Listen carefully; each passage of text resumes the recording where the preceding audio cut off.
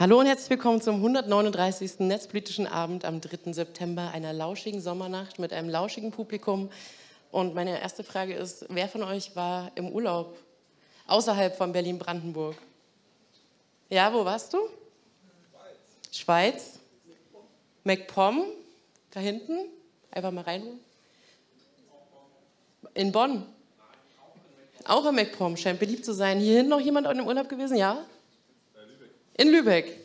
Das ist ja witzig, weil ihr seid dann alle so wie die deutschen Politiker eher in Deutschland unterwegs geblieben. Das, was man kennt, das, was bewährt ist, war schön. Wo genau die hingefahren sind, wollten sie allerdings nicht sagen. Ich gehe ganz stark davon aus, dass keiner von ihnen nach Afghanistan gefahren ist. Das äh, werden wir später noch erfahren, warum. Ja, man könnte sagen, der Urlaub war schön, wir sind alle erholt und sind bereit für den neuesten, ich nenne es jetzt mal Abfuck, ist ja nach 20 Uhr. Dann während das Parlament geschlossen war oder in der Sommerpause war, sind trotzdem viele Sachen passiert. Zum Beispiel geht es direkt mit der Chatkontrolle weiter, wo der Rat der ständigen Vertreter morgen über den Vorschlag der Ratspräsidentschaft abstimmen wird. Ihr wisst ja, was die so wollten. Es war nicht ähm, für Datenschutz gemeint. Dann hatten wir irgendwas in Solingen und schwupp gibt es ein paar Sicherheitspakete, die jetzt parat stehen, die dann direkt eingeführt werden können dass jemand sich wehrt oder dagegen vorgeht, ist natürlich ein bisschen schwieriger, weil wer will schon die deutsche Sicherheit gefährden? Was jetzt im Angebot ist, ist zum Beispiel die endgültige Aushebelung des Asylrechts durch so Sachen wie Gesichtserkennung auf Bundesebene. Feser will heimlich in Wohnungen Staats äh, Staatstrojaner installieren lassen. Das heißt, das Neue daran ist, dass es heimlich ist, dass man in die Wohnung geht. Remote haben sie es anscheinend noch nicht hinbekommen. Und auch Spranger, Berliner Innensenatorin, sagt, Zitat, wir werden die Videoüberwachung an kriminalitätsbelasteten Orten in Berlin ausbauen und mit dem Einsatz von künstlicher Intelligenz kombinieren. Ob wir dies zur Identifizierung von Straftätern nutzen können, werden wir überprüfen. Das ist doch super. Tolles Zitat. Also, genau. Und achso, ich kann noch mal auf den letzten MPA äh, hinweisen, wo alles noch schön war. Da wurde gegrillt und genetzwerkt. In einem Jahr gibt es den dann wieder. Genau. Jetzt eine Frage, was haben 3.500 Euro, eine Maschinenpistole, Polizeiakten, ein sichergestelltes Fahrrad und Haschisch gemeinsam? Es sind alles Dinge, die in der Asservatenkammer in den letzten drei Jahren verschwunden sind in Schleswig-Holstein. Genau, äh, Dinge, die nicht so leicht verschwinden können, aber dennoch überall auftauchen können, sind Kryptowährungen. Und das hat auch die dunkle Seite der Macht erkannt und viele äh, findige Geschäftsleute, die nicht so sehr scharf drauf sind, Steuern zu zahlen, ähm, ja, lassen sich auch in Bitcoin bezahlen oder regeln ihre Geschäfte damit. Und so ist es dann auch, dass die Polizei bei ihren Ermittlungen immer häufiger auf Bitcoins stößt, die sie dann halt in ihre Asservatenkammer tut und dann später der deutschen Justiz übergibt. Da hatten wir dann letztes äh, Jahr von der Verfolgung von Chipmixer äh, 44 Millionen Euro in Bitcoin Anfang des Jahres gab es bei der Durchsuchung von Movie 2K2O in Sachsen 50.000 Bitcoins, die gefunden und beschlagnahmt wurden. Äh, will jemand raten, wie viel das ist in Euro heute?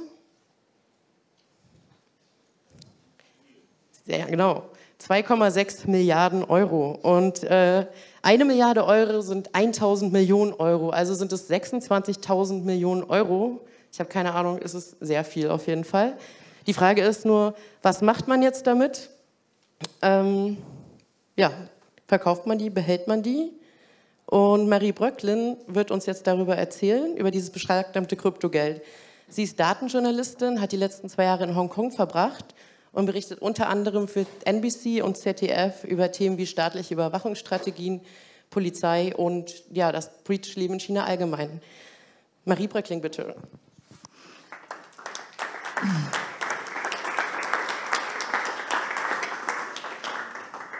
Vielen Dank für die äh, tolle Anmoderation. Genau, mein Name ist Marie Bröckling. Ich bin Journalistin und spreche heute Abend über, was die deutsche Justiz eigentlich so mit beschlagnahmtem Kryptogeld macht, wenn sie es hat. Und dieser Vortrag ähm, oder diese Recherche ist entstanden im Rahmen von einer Residency, die ich gemacht habe. Und zwar im April diesen Jahres war ich in Darmstadt da gibt es ein Programm, das heißt Mercator Journalist in Residence. Die laden Menschen ein, Journalistinnen und andere Menschen da einen Monat zu verbringen und zu solchen Themen zu recherchieren. Und ich bin da hingegangen mit der Frage, was hat es eigentlich mit diesen Schlagzeilen auf sich, die ich immer wieder gelesen habe? Du hast es ja auch gerade angesprochen in der Moderation. Immer wieder in den letzten Jahren haben wir diese Rekorde gesehen. Also 2023 war Schlagzeile Rekord. BKA hat Bitcoins im Wert von 44 Millionen Euro konfisziert. Ähm, und dann nur ein halbes Jahr später direkt der nächste Rekord. Das BKA hat eine noch höhere Summe an Bitcoins konfisziert. Und dazwischen ganz, ganz viele Rekorde, die teilweise auch nicht berichtet werden, weil diese Sachen gar nicht immer ähm, so groß in die Öffentlichkeit getragen werden. Das sind auch nicht nur Bitcoins, sondern auch andere Kryptowährungen, die immer wieder im ganz großen Stil von verschiedenen Polizeien beschlagnahmt worden sind. Und ich bin also losgegangen letzten April und habe mich gefragt, was sind eigentlich die Geschichten dahinter? Also was passiert da im Detail? Wie läuft sowas ganz konkret ab? Wie wird sowas eigentlich tatsächlich beschlagnahmt und was passiert dann damit, wenn es erstmal bei der Polizei ist? Und wie das sehr häufig ist, wenn man zum Thema Polizei oder irgendwas, was mit der Justiz zu tun hat, in Deutschland recherchiert, es ist in jedem Bundesland anders. Jedes Bundesland hat seine eigenen Regeln und auch seine eigenen Statistiken. Also ein Ziel, was ich während dieser Residency hatte, war zum Beispiel so eine vollständige Statistik zu erstellen. Wo, wo gibt es wie viele Kryptos? Und das war, also ich habe eine Statistik erstellt, die werde ich auch am Ende zeigen, aber ich konnte sozusagen keine vollständigen Zahlen bekommen aus allen Bundesländern, weil immer wieder die Antworten kamen, wir wissen es auch nicht oder ähm, wir haben diese Zahlen nicht, weil das in dem Maß nicht ähm, erfasst wird. Das heißt, wir wissen aber, immer wieder werden große Mengen Kryptos in Deutschland ähm, sichergestellt und dann sind die bei der Justiz. Das heißt, die Frage ist, was sind das denn für Fälle? In welchem Zusammenhang tauchen denn solche Kryptos auf? Ähm, und das ist jetzt keine abschließende Liste, aber das ist sozusagen das Ergebnis von vielen Gesprächen, die ich geführt habe mit Menschen, die bei der Staatsanwaltschaft oder bei der Polizei arbeiten. Und das, was mir dort berichtet wurde, war, dass es ganz, ganz häufig auch Beiprodukt ist. Also die Polizei oder andere Behörden ermitteln in Fälle von äh, ganz häufig Drogen oder eben Darknet-Handel. Da gab es diesen ganz großen Fall Wall Street Market, habt ihr vielleicht gehört, oder Hydra Market zu der Zeit einer der größten Darknet-Plätze weltweit. Ähm, Betrug, Geldwäsche, das war dieser Chipmixer-Fall, der eben auch schon angesprochen wurde. Und eigentlich, das sind der Großteil aller dieser Fälle, die wir in den letzten Jahren gesehen haben. Und ganz selten sind es andere Bereiche oder andere Straftaten, in denen Kryptos sichergestellt werden, die auch denkbar wären. Also sowas wie Terrorfinanzierung, ähm, Sanktionen, vor allen Dingen jetzt zuletzt, wenn wir an ähm, den Russlandkrieg denken, ähm, Kindermissbrauchsdarstellung oder alles andere, was in dem Bereich anfallen könnte oder Schadsoftware.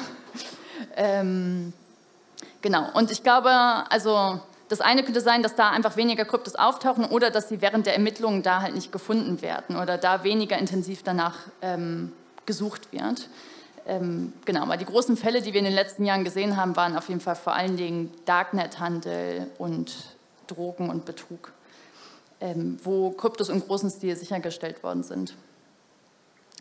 Dann war die Frage, also so ganz praktisch, wenn jetzt die Polizei ermittelt und sie finden jetzt Menschen und vermuten, da sind Kryptos oder haben Hinweise darauf, diese Menschen haben irgendwie ihren Reichtum nicht nur in ähm, Immobilien oder Schmuck oder Autos oder anderen Wertgegenständen angelegt, sondern eben auch in Kryptowährungen, dann ist die Frage, wie kommen sie denn jetzt da dran? Ähm, weil anders als Bargeld kann man es ja nicht einfach bei einer Durchsuchung sicherstellen bei der Person zu Hause, sondern man muss es ja irgendwie irgendwie rankommen. Und das Erste, und das hat mich ehrlich gesagt ein bisschen überrascht, war, dass ErmittlerInnen mir immer wieder erzählt haben, dass es ganz viele und auch einige von diesen ganz großen Fällen gab, wo die Beschuldigten das freiwillig übergeben haben. Also in dem Moment, wo die Ermittlungen gegen sie stattfanden, sich dafür entschieden haben, häufig mit der Hoffnung auf äh, Strafminderung, das dann rauszugeben. Ähm, das war, ich will nichts Falsches sagen, aber ich meine bei dem Movie 2K.Theon-Fall zum Beispiel so. Ähm, das andere ist, das fand ich auch sehr amüsant, ist, dass einige ErmittlerInnen berichtet haben, dass sie teilweise einfach die Seed Phrase finden. Also Menschen entscheiden sich dann ja doch, die Seed Phrase nicht nur äh, im Kopf zu behalten so, oder irgendwo verschlüsselt aufzuschreiben, sondern dass Menschen das tatsächlich irgendwo physisch aufgeschrieben haben. Also was wie Notizzettel oder ein Ermittler hat erzählt ganz häufig in der ähm, Foto-App auf dem Handy, dass sie dort dann letztendlich die Seed Phrase gefunden haben. Also es ist doch bei der Durchsuchung entweder im Haus oder auf technischen Geräten gefunden werden kann und damit dann Zugang ähm, sichergestellt werden kann. Und das Dritte, und das ist ganz wichtig oder auch bemerkenswert, wenn wir über Kryptowährungen generell reden, dass auch Menschen, die ähm, Straftaten begehen oder in einem illegalen Bereich unterwegs sind, also ganz gezielt eigentlich versuchen, ihre Spuren zu verschleiern, mittlerweile häufig Kryptos doch auch beim, bei Kryptoverwahrern erwerben oder zumindest ähm, genau da auch tätig sind. Das heißt, eine Möglichkeit, die die Polizei und die Justiz auch haben, ist Transaktionen halt so lange zu verfolgen, bis sie bei einem Exchanger landen und dann dort die sicherstellen zu lassen. Und diese Möglichkeit gibt es nur, weil so viele Menschen mittlerweile Kryptos über Kryptoverwahrer kaufen und eben nicht mehr selber, so wie ja der ganz originäre Gedanke von Krypto mal war, auf die Blockchain zugreifen. Ähm, und diese Möglichkeit besteht vor allen Dingen in der EU auch, weil hier Krypto-Exchanger von der Geldwäscheaufsicht bewacht werden. Also in Deutschland ist es die BaFin. Das heißt, diese Kryptoverwahrer müssen mit der Justiz kooperieren. Die haben gar keine anderen Möglichkeiten oder es ist auch in deren Interesse, weil sie sonst ihre, ähm, ihre Zulassung in Deutschland verlieren würden. Und was Ermittler mir gegenüber auch berichtet haben, war, dass das sogar teilweise im außereuropäischen Ausland funktioniert. Also dass sie teilweise Rechtshilfegesuche gestellt haben an Kryptoverwahrer in Belize beispielsweise oder in anderen außereuropäischen Ländern und sogar da die Kryptoverwahrer teilweise mit der deutschen Justiz kooperieren und die Vermutung ist, dass diese Verwahrer solche Angst vor Geldwäscheermittlungen gegen sie haben, dass sie lieber kooperieren in solchen Fällen und ähm, mit den Behörden zusammenarbeiten, als das zu riskieren, dass irgendwo ähm, Ermittlungen gegen sie aufgenommen werden.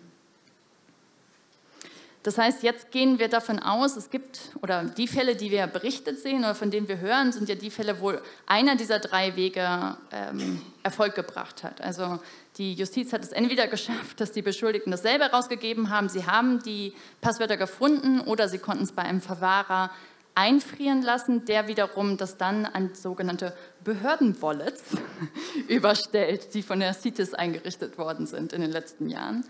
Ähm, es gibt aber ganz, ganz viele Fälle, und das ist natürlich also als Journalistin total spannend, wo das nicht funktioniert. Das haben auch alle Polizeien gesagt. Es gibt Fälle, wo, die, wo es Ermittlungen gibt, wo auch der Verdacht besteht oder ziemlich klar ist, dass diese Menschen ein großes Vermögen in Kryptowährungen haben und diese Menschen es aber erfolgreich schaffen, das nicht rauszugeben oder da nie Zugriff erlangt wird. Und mir gegenüber hat das jemand verglichen mit so der ganz traditionellen Schatztour sozusagen. Da ist es auch denkbar, dass jemand tatsächlich in Haft geht für was auch immer gegen ihn ermittelt worden ist ähm, und dann aber, wenn er aus der Haft wieder rauskommt, halt zurückkommt und sein Schatz sozusagen oder ihr Schatz immer noch da ist. Ähm, genau, da haben mehrere Menschen mir auf jeden Fall gegenüber berichtet, dass ähm, das ein bekanntes und wiederkehrendes Problem ist, dass diese Zugangsdaten einfach nicht aufgefunden werden. Ähm, in den großen Fällen in den letzten Jahren ging es ganz häufig um Bitcoins. Das ist auch definitiv da, wo das meiste Geld gemacht worden ist. Aber es werden auch ganz viele andere Coins sichergestellt. Und das ist insofern interessant, als dass die Ermittler, und das ist jetzt gleich der nächste Schritt, wenn es um die Frage geht, wie verkauft man es denn, oft sagen, dass Bitcoins natürlich das ist, was am leichtesten auch wieder zu verkaufen ist. Ähm, und sie sich auch immer wieder die Frage gestellt haben, wie sie mit anderen Coins überhaupt umgehen, ob man da überhaupt als Behörde drin auftreten möchte. Also wenn man über Monero oder andere Privacy Coins redet, ob man da überhaupt mitmischen möchte oder nicht. Ähm, genau, also das sozusagen nur am Rande. Jetzt gehen wir also so davon aus, die, äh, es gab Ermittlungen, Kryptowerte wurden sichergestellt, die liegen jetzt auf dem Behördenwallet in NRW. Und jetzt ist die Frage, was macht man denn jetzt damit? Das ist unglaublich viel Geld wert. Ähm, und wie ihr vermutlich alle wisst, unterliegt es aber auch enormen Kursschwankungen und in letzter Zeit ja eigentlich zugunsten der Justiz sozusagen, dass die Bitcoins immer weiter in Wert gestiegen sind. Das heißt, umso länger man es liegen lassen würde und nicht verkaufen würde, umso mehr Geld würde man am Ende damit einnehmen. Und da gibt es verschiedene Herangehensweisen tatsächlich. Also es gibt Bundesländer, die sagen, wir verkaufen immer erst, wenn das Gerichtsverfahren abgeschlossen ist, weil wir sonst nicht sicher sagen können, an wen das, an wen das Vermögen dann ja letztendlich eigentlich geht, also wie das Gerichtsverfahren ausgeht. Ähm, und es gibt andere Bundesländer, die sagen, diese Kursschwankungen sind uns zu heikel. Wir gehen den Weg, juristisch heißt das dann Notveräußerung. Also wir verkaufen lieber ganz schnell und damit haben wir das vom Hals und müssen keine Verantwortung mehr dafür übernehmen. Ähm, grundsätzlich kann man sagen, dass natürlich die Behörden dazu angehalten sind, sie dürfen jetzt nicht an Spekulationen teilnehmen, sie dürfen sich jetzt nicht extra zurückhalten, um den Wert zu steigern und sie sollen auch nicht in den Markt eingreifen, also sie sollen nicht so große Mengen auf einmal veräußern, dass es den Markt stark beeinflussen würde. Ähm, aber hinter vorgehaltener Hand habe ich schon immer wieder den Eindruck bekommen, dass es diese Überlegungen auf jeden Fall gibt, dass man schon darüber nachdenkt, an welcher Stelle es natürlich klug wäre zu verkaufen oder ob man diese Regelung nicht doch anpassen sollte, ähm, um da mehr bei rauszuholen. Dann das Zweite, das hatte ich eben schon angesprochen, die Schwierigkeit bei, ähm, nicht bei Bitcoins, aber bei manchen von den anderen, die gar nicht so leicht zu verkaufen sind, weil auch nicht alle ähm, Exchanger die annehmen oder nicht alle die ähm, verkaufen. Und die dritte Frage, und das ist eigentlich für die Justiz sicherlich mit das Spannendste ist, Kryptowährung, dadurch, dass alles auf der Blockchain gespeichert wird und alles sichtbar ist, sobald ein Wert einmal im Zuge von einem Ermittlungsverfahren aufgetaucht ist, ist er eigentlich gebrandmarkt. Das ist für alle klar, dass dieser Coin in illegale Geschäfte verwickelt war. Ähm, und jetzt ist die Frage, wenn es dann von der Justiz sichergestellt worden ist, also außer Verkehr gezogen wird und dann aber wieder verkauft werden soll, wie macht man deutlich, dass, dieser, dass diese Werte jetzt wieder bereinigt sind sozusagen, also dass sie wieder auf dem Markt gehandelt werden dürfen. Und da sagen die Behörden, sie sind gar nicht in der Lage, das vorzunehmen, sondern sie sind darauf angewiesen, dass andere mit ihnen kooperieren, ähm, dass sie das zum Beispiel an andere Kooperationspartner auslagern, solche, die Trusted Flagger sind, also die diese Berechtigung haben, dann zu anderen, ähm, zu anderen Unternehmen hinzugehen und zu sagen, wir haben das überprüft, wir haben die Gerichtsdokumente gesehen und jetzt kann man sicher sagen, damit darf wieder gehandelt werden. Und um diesen Weg zu gehen oder um dann diesen letzten Schritt zu machen und das wirklich zu verkaufen, gehen die Bundesländer natürlich verschiedene Wege. Der klassischste oder das erste, was einem einfallen würde, wäre, man kann ja einfach selber auf bitcoin.de gehen und es einfach verkaufen. Und das machen auch einige Bundesländer. Also unter anderem Bayern hat einfach selber Angestellte, die das dann auf bitcoin.de ganz regulär verkaufen. Und die sagen, wir brauchen auch kein White Flagging, sondern das sind, bei uns funktioniert das irgendwie problemlos, wir können das selber machen, wir verkaufen das da einfach und nehmen das Geld ein und dann ist alles fein bei uns. Es gibt andere Bundesländer, und da muss man fairerweise dazu sagen, die ja auch mit viel größeren Mengen an Bitcoins ähm, zu tun hatten in den letzten Jahren. Das erste Bundesland war Hessen, die gesagt haben, wir können dafür nicht die Verantwortung übernehmen. Wir können nicht sicherstellen, dass dieses Whitelisting stattfindet und überhaupt sind wir nicht in der Lage, solche großen Mengen an Kryptowährungen selber zu veräußern. Deshalb haben sie das Bankhaus Scheich beauftragt, ein kleines Bankhaus in Frankfurt am Main, das diesen Auftrag erhalten hat. Und damals äh, war man ganz stolz in Hessen und hat auch eine Pressekonferenz gehalten und hat gesagt, das ist einzigartig in der Bundesrepublik, diese Art von Kooperation. Ähm, was die Kooperation genau umfasst, wissen wir nicht, weil die Verträge bisher noch nicht öffentlich sind. ähm, ich bin dran, aber habe es noch nicht rausbekommen. Ähm, andere Bundesländer sind diesem Beispiel gefolgt und kooperieren mittlerweile auch mit dem Bankhaus Scheich. Also offenbar hat, hat diese Bank sich sehr bewährt und ich nehme an, auch für die Bank hat sich das bewährt, dieses Geschäft. Ähm, nicht alle Bundesländer wählen aber diesen Weg. Es gibt auch eine andere Bank, mit der Bundesländer zusammenarbeiten, das ist die Futurum Bank, die einen ähnlichen Service anbietet, die also sagt, wir nehmen euch diese Kryptowerte ab und verkaufen sie für euch in eurem Namen und übernehmen damit auch die Verantwortung dafür. Also übernehmen das Whitelisting und schauen, dass hinterher alles so läuft, wie es laufen soll.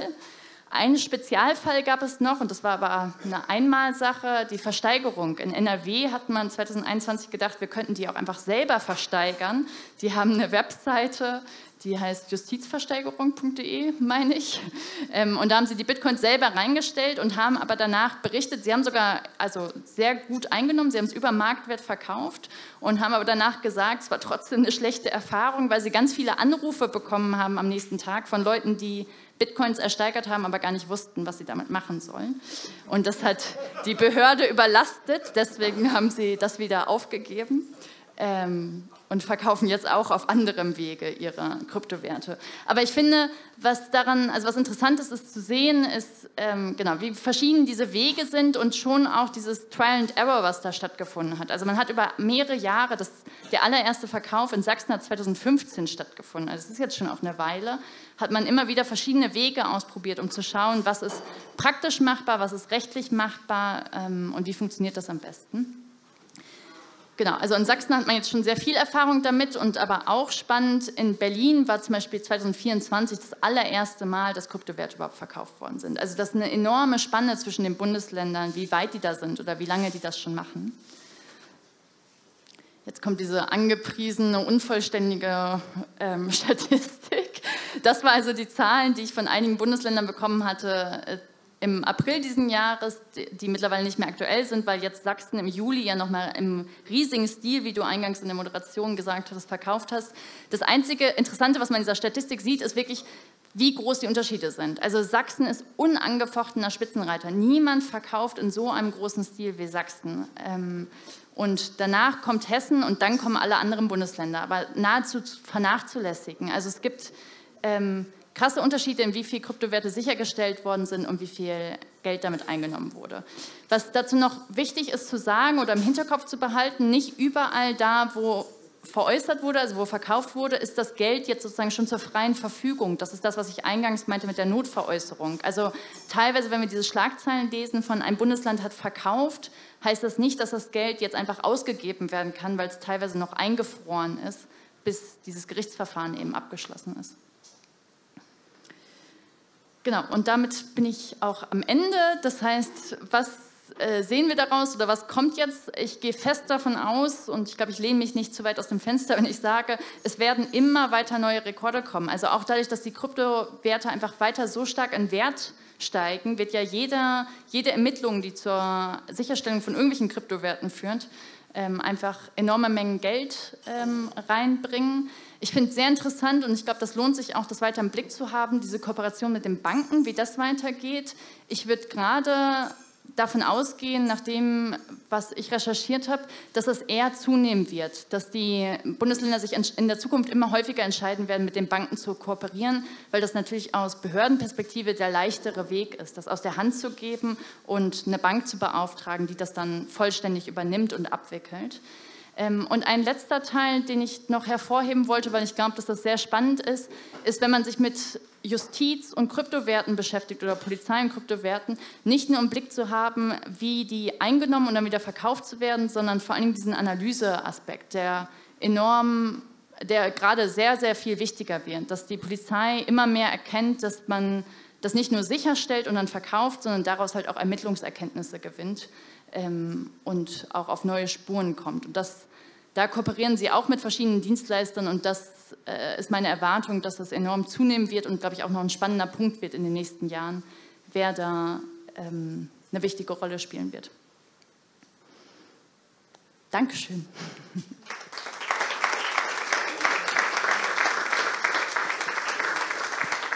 Genau, dann könnt ihr jetzt noch Fragen stellen. Allerdings gibt es eine kleine Einschränkung. Willst du was dazu sagen? Nee, das war bei dem anderen. Achso, nee, es gibt keine Einschränkung. Frag, frag away. genau, da vorne, der Kandidat. Das scheint jetzt ein neues Geschäftsmodell für Banken zu sein. Hast du mal geguckt, wie die ähm, dafür werben oder ob es da irgendwie ähm, Ausschreibungen für gibt oder wie das so dieses Geschäftsmodell funktioniert? Genau, also ich ich habe gerade nicht den Wortlaut im Kopf. Die, die, Bank und das Bundesland Hessen sagen übereinstimmend, dass damit kein Geld gemacht wird, dass die keine Provision bekommen würden, sondern dass sie nur verdienen an der Differenz zwischen dem Moment, wo sie es bekommen und dann dem Moment, wo sie es verkaufen. Das ist bei der, beim Bankhaus Scheich so. Bei der Futurum Bank hingegen, ich meine, dass es 2% waren, also die haben eine feste Provision, die sie meine ich, ähm, veranschlagen dafür. Und soweit ich weiß, und das kann ich dir aber gerade nicht die Details erklären, gibt es dafür keine Ausschreibung, sondern das war eine Kooperation, die damals einfach verhandelt worden ist und wo man sich, also ich meine, dass es dafür keine Ausschreibung gab, sondern dass das, weil es die Justiz ist, das selber in ihrem Ermächtnis liegt, das zu entscheiden, äh, wie sie das abwickeln. Und dass das auch die Begründung ist, weshalb sie sagen, dass diese Verträge bisher nicht öffentlich sind, also dass man da nicht rankommt als Öffentlichkeit.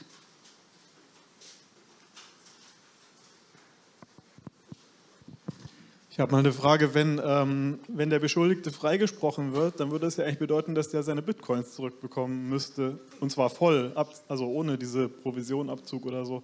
Was, ich weiß nicht, funktioniert das? Kriegen die dann das Geld komplett wieder? Also die Bitcoins komplett wieder? Das ist eine gute Frage. Ich würde denken, aber das kann ich dir auch nicht mit Sicherheit sagen, so wie ich es verstanden habe, würde, wenn es eine Notveräußerung davor gab, also wenn die Justiz Not veräußert hat, würde die Person, die vorher beschuldigt war, dann nur noch den Geld, den Gegenwert bekommen. Ähm, aber sicherlich abzüglich, also müsste das sicherlich im vollen Umfang bekommen. Aber ich glaube nicht, dass sie Bitcoin wiederbekommen würde, sondern den Gegenwert ähm, in Euro. Also mir hat jemand mal erzählt, dass Ransomware-Zahlungen in Kursverlusten für Bitcoin versteckt werden von Banken in Deutschland. Was für Zahlung? Äh, Ransomware-Zahlungen. Mhm. Die tun so, als ob sie die Ransomware nie bezahlt haben und machen irgendwelche Geschäfte mit Bitcoin, dann machen sie eben Verluste. Hast du davon was mitbekommen? Nee, war nicht Teil meiner Recherche, aber spannend.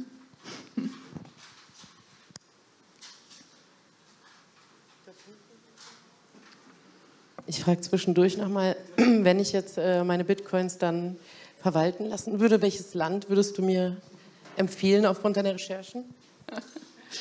Naja, offenbar ist es richtig knapp geworden.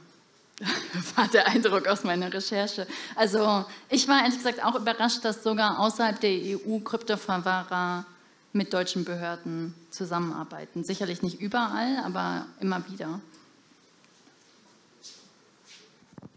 Also äh, so wie ich das verstanden habe, wird ja im Prinzip vor dem Urteil werden ja die, ähm, die Kryptowährungen verkauft. So, und ich finde das irgendwie so wild und interessant, also auch ein bisschen kontraintuitiv. Und ich frage mich, gibt es da auch andere Beispiele für? Wird da auch bei einem Goldraub oder so vielleicht Gold auch dann notveräußert im Vorhinein? Oder ist das eine Sache, die im Prinzip so nur im Kryptobereich passiert? Oder ich habe das noch nie gehört irgendwie. Ja, also nochmal zur Richtigstellung, es ist nicht überall so. Es gibt Bundesländer, die gehen den Weg über die Notveräußerung, die entscheiden sich, sie verkaufen auch bevor es ein Gerichtsurteil gibt. Und das ist nicht nur bei Kryptowährungen so. Also das, die Justiz kann das entscheiden und begründen in Fällen, wo sie sagt, dass dieser Wert extrem volatil ist, also extrem anfällig für Schwankungen. Und das ist bei Kryptowerten definitiv so. Das wäre auch bei Rennpferden zum Beispiel so. Wenn ich ein Rennpferd sicherstelle und aber weiß, das wird jetzt alt und dann ist es nicht mehr viel wert, dann ist es besser, es jetzt zu verkaufen um nicht den Wertverlust in Kauf zu nehmen. Ähm, also in der Sicht ist das, glaube ich, sehr enge Rechtsauslegung eigentlich. Also dass man einfach so, wie man auch in der Vergangenheit mit anderen Werten umgegangen ist, das jetzt halt auch auf Kryptowerte überträgt. Ähm, Genau, und das ist nicht in jedem Bundesland so.